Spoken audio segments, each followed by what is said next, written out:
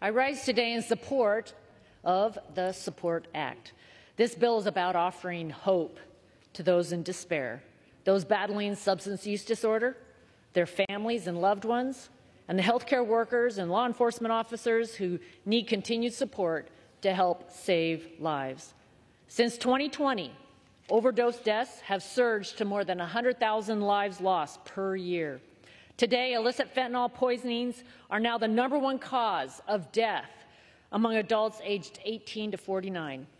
And my home state of Washington has seen the greatest increase in drug overdose and poisoning deaths nationwide in the past year.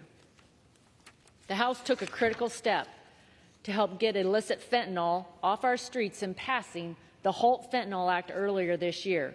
Now we're moving forward with this legislation to increase support for individuals suffering from substance use disorder and to help make sure they receive the treatment they need.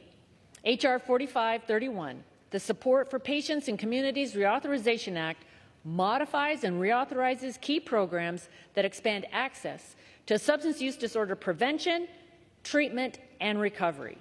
Specifically, this bill increases treatment options for intensive inpatient care, allows law enforcement to crack down on illicit xylazine distribution, and continues support for at-risk youth, among many other important provisions. A big thank you to Kristen Fluke and Seth Gold from the Energy and Commerce Committee staff for their dedicated work on this legislation. I'm hopeful that by reauthorizing programs with proven success and increasing access to treatment, we can address the troubling trend in drug-related deaths, saving lives and restoring hope and healing to those who need it.